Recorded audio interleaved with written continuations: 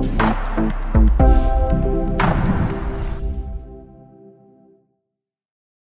everyone, how are you doing today?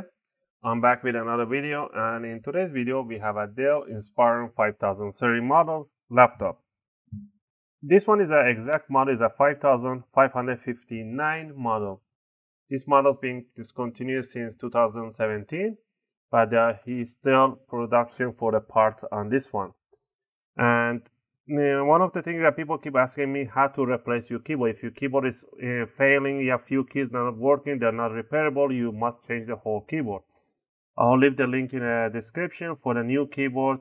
The keyboard with a backlight and keyboards without the backlight. You can put any of them. Doesn't have to be a um, backlight because the backlights are a little more expensive. But if you don't care about the backlighting of the keyboard, then just grab a normal one. To replace the keyboard is really, really simple. You don't need any screwdrivers or anything like that. All you need is a, a guitar pick, a metallic guitar pick or something like this. Really hard and tough. And the process is really simple. All you need to do is to power off the laptop completely. Make sure it's powered off. Remove the battery. To remove the battery, you have you should be able to know this one. You just pull this trigger to one side and the battery would just come out easy. So on this one that didn't come up with a battery, the client didn't uh, had the battery with him. So remove the battery and the battery removing is not necessary. You don't have to remove the battery, but if you want to. All right. Now we're looking at the keyboard, we're gonna realize there is a tiny clips right there between the escape and F1. Right over the F5 on the gap, there's a little tiny clip right there. F10 between insert and delete, there's one and one right at the far back. So what you want to do, you want to start in the middle by the F10. You want to stick this guitar pick right there, and you pretty much sticking there and pushing the clip towards the screen. So push it, put it there and just slide the clip right there and bring it over. Don't let the, don't push the keyboard back down. If you push it down, it's just gonna snap back in place. So just release that clip release the clip on the left side, release clip on the right side. Now you got two or three up, lift it up a little bit, and while you're holding it up, uh, start releasing the rest of them. Once you got those, you want to pull it up from the middle, so you loose up the sides, bring it, pull it towards the motherboard, towards the screen, and you're going to loose up these uh, hinges right here. And this once you loosen up, now you want to slowly, gently bring it over. You want to see the backlight cable right here and the flex cable for the screen.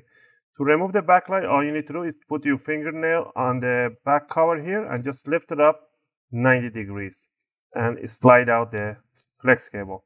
Same thing here. So pretty much you put your fingernail on the back and lifting it up and slide out in 45 degree angle. This is your keyboard if you want again get one without the backlight, you will not have this cable or just get one with the backlight. The exact model for this one it's CN-07TT4J. That's the model for the uh, Dell part number. But you can buy these ones uh, just based on the uh, laptop model. So if you search on Dell Inspiron 5559 models, you want to find this one. I'll try to find the link and leave it in the description so you guys can purchase. Once you get the new lap keyboard in, just remember that this uh, key uh, flex has a little earlobes on the sides. So there's a tiny little earlobes that is on the each side of this one.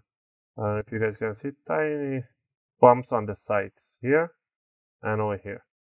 Now, all you want to do, you don't want to put this one straight uh, inward. You want to bring it down in 45 degree towards the connectors all the way in and then set it down towards the motherboard and then lock it down.